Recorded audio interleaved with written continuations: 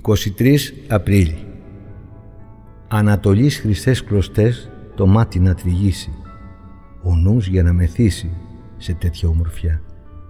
Να έρθουν τις άνοιξης χαρές με χρώματα χιλιάδες, καλοκαιριού λιακάδες να ζήσει η καρδιά. Καλημέρα.